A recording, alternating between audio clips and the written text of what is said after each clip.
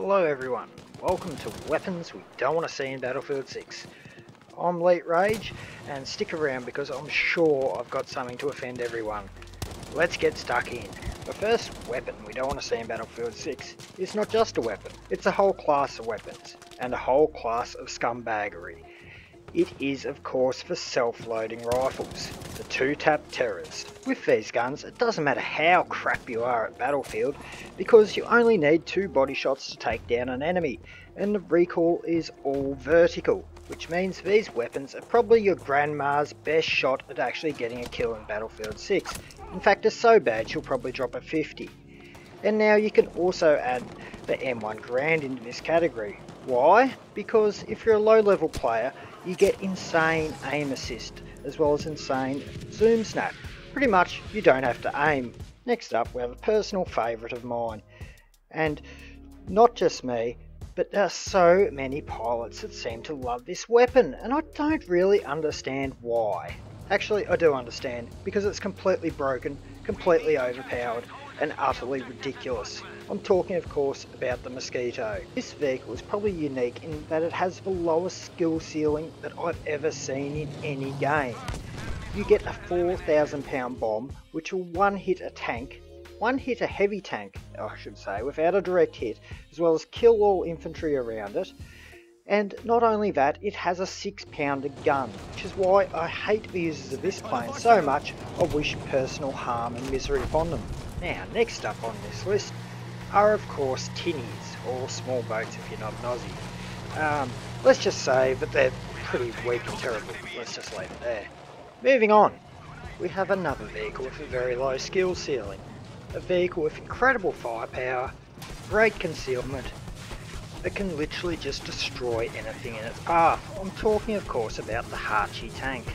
Jump into any Pacific breakthrough map and you're likely to find one within 30 metres of a resupply crate because with this tank all you have to do is simply fire off your rockets in the vague direction of where the enemy is, get your 10 kills and then return to the resupply when you've run out of rockets. Contrary to popular belief, this tank also has a main gun which is incredibly effective at taking down both tanks and infantry. Now you might be thinking, yes, the Americans, they've got a rocket tank too. However, their rocket tank is the size of an apartment block and is often betrayed by its giant rocket array sticking up above the turret. Therefore, you can see this thing coming and easily neutralise it because it is, after all, just a shitty Sherman. Moving along now, the next thing I'd like to feature in this is a whole category of weapons whose defensive strengths are beyond dispute and whose only downside requires you to go prone or head glitch on some ledge somewhere. I am talking of course about the MMGs which have been modelled in this game as they were in World War II, completely OP and absolutely infuriating if you have to attack anything. Normally it wouldn't be too bad, but with Battlefield 5's horrible visibility issues, you often can't see where they are. All of a sudden, you'll just be walking along and the rocks will just open up on you. Every rock, every tree, even the windows will start shooting at you. And it's not inanimate objects, this isn't prop hunt, it's just as a whole heap of MGs that you can't see there because of your high field of view and because you like to push things aggressively, like you wish everyone else would. These players use these weapons often just sit back, camp all day, and post pictures of their 60 and 4 gameplay, which of course is completely irrelevant because they're just camping back doing absolutely nothing. Get rid of them, and please, if you're the one who thought of these this class of weapons, what are you doing in game design? Obviously you're a good historian, maybe you should focus on that. Stop introducing historical accuracy into this game because you just killed all the goddamn gameplay. Because no one can move because there's MG42s camping every angle. Please, have a think about it. Now, your average observer might be thinking that I'm running out of things to cover since I've already pretty much named and shamed half of the weapons and vehicles in Battlefield 6. But you're wrong. Imagine a plane that was actually a tank and actually could spot a whole map Introducing the tank plane, the Ju-88, one of the easiest planes to use. Trust me, I'm the worst pilot around, and even I can get 30 and 0 kills in this beast. To use this machine, it's a relatively easy three-step process. Step 1. fly high up into the sky. Use your spotting camera to spot every single member of the enemy team on the map. Step 2. Have a look at that map. Look for group targets that are easy to kill, or tanks, or anything really. If you find a group of 4 infantry all clustered around, go for a dive on them. And finally, step 3. Boom, boom, boom. Just RT, RT until that group of infantry is dead. Then just repeat the process. It really is as easy as that. And this is coming from someone whose primary opponent in the air is seems to be mountains because I've died to them more than any enemy action. And considering that I'm calling a tank plane, let's just have a look at that uh, main gun it's got there. It seems to have the blast damage radius of a Tiger's 88mm with the reload speed of a Valentine 2 pounder. Hmm, and someone at DICE really does seem to love planes because that is completely bullshit and why the fuck it's in this game I have no earthly idea. Hmm, damn, starting to run out of things to talk shit about. Oh no, that's right, shotguns! Yay! Every bot's best friend, let's have a look at them.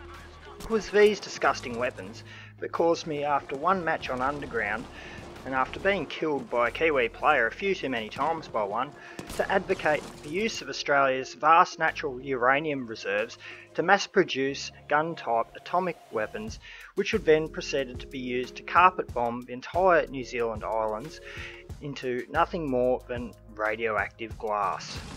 I was so angry that I didn't even care that Nitrous and a few of the other boys from Deathwish lived in New Zealand. They were just collateral in a war for greater good. Now I understand balancing shotguns isn't easy, just need to look at Warzone for that. It had the horrible Origin 12 meta where people were winning Warzone matches with pickup weapons, which was then shortly followed by the horrible R90 Dragon's Breath meta, where everyone was just being two tapped into oblivion. DICE obviously admiring the way they'd been modelled in Modern Warfare, seek to do the same, and introduced an automatic shotgun of their own. Because shotguns are so difficult to use for new players, aim assist auto rotation was also shortly added thereafter and increased to ridiculous levels for new players. This made a low skill weapon even less skilled to use and devastatingly effective with a 12 meter maximum one hit kill range. And the thing you got to remember, while that is the maximum range, a lot of the time players aren't always on full health, especially aggressive players who are constantly in gunfights. Their health is usually around 70 to 80 because they're constantly healing. And that means the one hit kill radius goes out further and rage and frustration ensures. The way shotguns are balanced now is similar to the DMR rifles. It's been balanced the wrong way. They need less lethality and longer range, whereas the DMRs need less lethality and more horizontal recoil. Now that shotguns out of the way, there is one more point I want to touch on. Developers at DICE seem to, for some reason, think that Spawn was an objective that needed to be defended. In order to accomplish this mission, most maps as you'll see, in particular Narvik and Operation Underground, the spawn deployment area is furnished with a vast array of stationary weapons. Oh, I sort of forgot Rotterdam too, from the British side. Now, if one finds themselves on the German side Narvik, they can go on the coastal side for a nice little stroll where they'll find a nice anti-tank gun with excellent million dollar views all the way into enemy deployment. On Rotterdam, there's similar mounted anti-tank guns which fire onto the Alpha objective. These weapons are so effective that Angry Man has actually left his apartments from the back of Charlie in order to relocate onto that gun, where he just spam fires the entire match onto Alpha regardless of whether there are any enemies present on the objective. Now, it strikes me as weird that no one at DICE thought that this would encourage people camping in their deployment. I don't understand the rationale behind it, but anyway, it's not something we want to see in Battlefield 6. We want people pushing. There's too much camping going on as it is. One final note, bayonet charges. Silent bayonet charges. On your screen when you're bayonet charging, your character shouts ah as he rushes, rushes towards the enemy. But if you're on the receiving end of that, this is what you hear. Uh, cricket sounds put in. Absolutely nothing. And because of the netcode issues, the player seems to teleport vast distances into your chest. Not very pleasant. please, please fix it because it is so infuriating, it's beyond words. Yeah, if you thought this was the end of it, you're wrong. I've got a list 100 pages long. Mate, I could sit, sit here all day and whinge to you about the weapons of Battlefield 5. But there is one last weapon, which I will say, it's not here because it's overpowered, it's here because it's absolutely freaking useless and a complete disgrace. In so many ways. I talk of course about the shitty Sherman tank, otherwise known as the Tommy Cooker. Despite all its obvious flaws, I'll just sum it up by the two main things that really let this tank, tank down. That is the physics model. For some reason, the tank feels like it's made out of paper. The slightest explosion will just blow it sideways. Yet, despite all this, when you try and climb a hill with one, even with the engine upgrade, the thing struggles like an old clapped out car. I just don't understand how it's so bad.